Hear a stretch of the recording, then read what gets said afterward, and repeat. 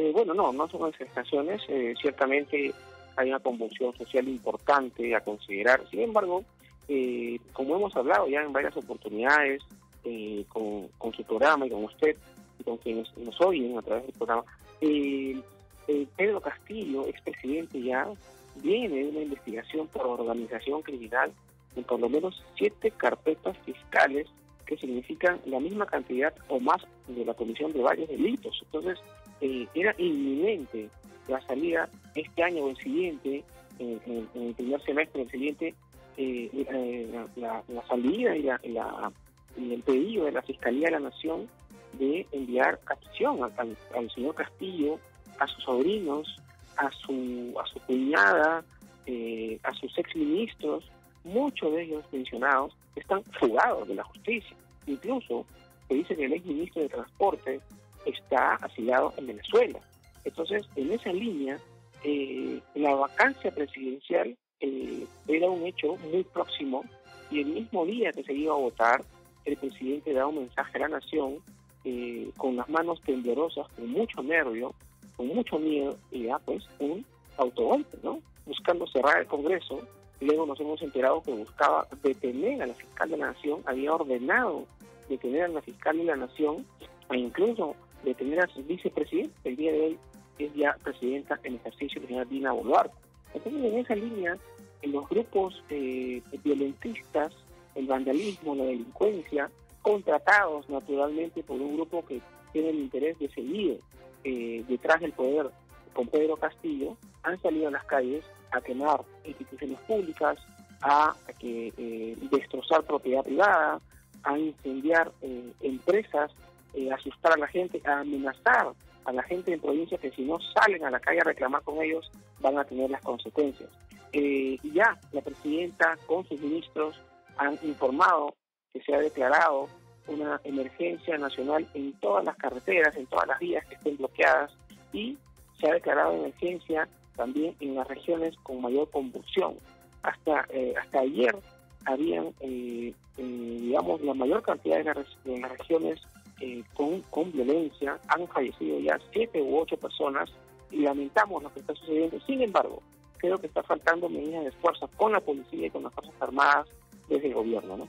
desde una perspectiva personal, yo creo que sí, yo creo que el Sendero Luminoso y estos grupos terroristas eh, siempre han estado detrás de las protestas y, de estas eh, algunas, algunas eh, marchas legítimas que pudiesen tener algunos ciudadanos que respetamos las protestas legítimas y pacíficas, como ocurrió, acuérdense, cuando nosotros fuimos parlamentarios en el año de noviembre de 2020 y vacamos el señor Vizcarra, fallecieron también algunos, algunas personas. En esta oportunidad también están infiltrados, porque lo que buscan es terror, lo que buscan es muerte, lo que buscan es violencia, lo que buscan es sangre. ¿Para qué? para crear su famosa asamblea constituyente, para hacer una nueva constitución. Y lamentamos, y acá lo decimos, que eh, el presidente colombiano Petro, el presidente argentino, el presidente venezolano, el presidente mexicano hayan emitido un comunicado de manera conjunta, entrometiéndose, ojo, entrometiéndose en política interna nacional peruana, no reconociendo a la presidenta Dina Boluarte que ha, jurado, el cargo y que ha eh, eh, tomado el poder en una sucesión presidencial establecida en nuestra constitución política. Estos señores que responden a los intereses chavistas, a los intereses venezolanos, a los intereses comunistas y buscan fortalecer su bloque del foro de Sao Paulo, pues han, o están exigiendo la liberación del señor Pedro Castillo, que es un delincuente que está parte de una organización criminal y efectivamente lo que, lo que ha pasado ya es que eh, el ministro de Relaciones Exteriores y la presidenta han llamado a los embajadores de estos países a exigir naturalmente una explicación y a ver qué es lo que está sucediendo. Eso lo condenamos porque finalmente lo único que siguen consiguiendo es zozobra, es inestabilidad, es desunión y lo que se busca finalmente entre todo que es la integración en América Latina, pues siguen generando su propio bloque. Pero sí, y cuando Carlos se pregunta, hay una infiltración de grupos terroristas inminentes.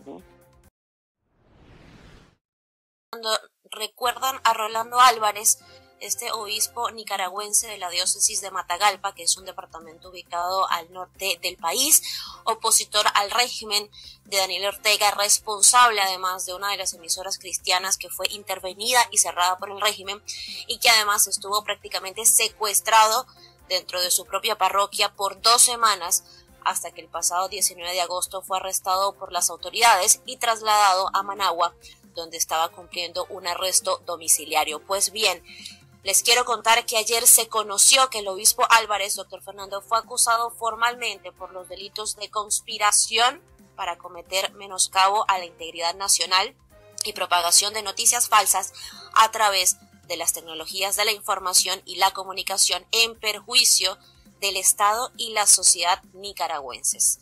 Esta acusación fue presentada por el Ministerio Público ante un juez de los juzgados del Distrito Penal de Audiencia de Managua. Tras ser acusado formalmente de estos delitos, el juez decidió mantener al obispo bajo arresto domiciliario y le nombró un defensor público. La primera audiencia, doctor Fernando, previa al juicio quedó programada para el próximo 10 de enero, pero la fecha en la que comenzará formalmente el juicio aún no ha sido definida. Hay que recordar que cuando el obispo Rolando Álvarez fue detenido y llevado a la capital nicaragüense, otros seis religiosos, doctor Fernando, también fueron arrestados, arrestados junto con él. En este momento siguen recluidos en una cárcel de Managua esos seis, esos seis sacerdotes y no se conoce de manera oficial cuáles son los cargos que hay en contra de ellos.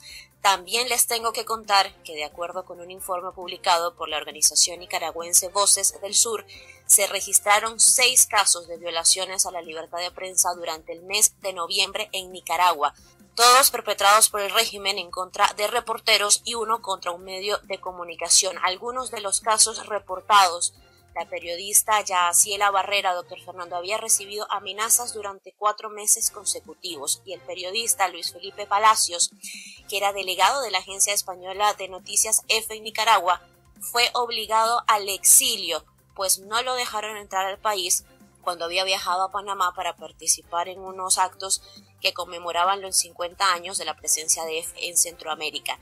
Al periodista Palacios, bueno, él abordó un vuelo en la ciudad de Panamá, tenía una escala en Miami y estando en Estados Unidos, la aerolínea le informó que las autoridades nicaragüenses le habían negado el ingreso a su propio país. Esto fue el pasado 30 de noviembre y desde entonces se encuentra exiliado. También les quiero contar que Las Voces del Sur documentó el caso de la emisora Radio Mi Voz, ubicada en la ciudad de León. Antimotines y policías ingresaron por la fuerza a las instalaciones la mañana del 18 de noviembre y desde entonces la emisora está fuera del aire. Mientras tanto, doctor Fernando, compañeros, el portal de noticias Infobae reportó esta semana que Rusia abastece con todo su arsenal al régimen de Daniel Ortega para llevar a cabo su, su guerra comunicacional. Estaciones satélites capacitación a periodistas de medios afines y convenios para controlar el uso de las tecnologías de la comunicación son algunos de los servicios que ha adquirido Nicaragua del régimen ruso.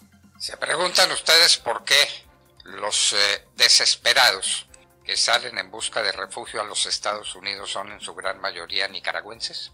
¿Entienden por qué? La gente de Nicaragua se va de Nicaragua a buscar cualquier cosa lejos de su patria porque Nicaragua está convertida en un infierno, en un infierno comunista.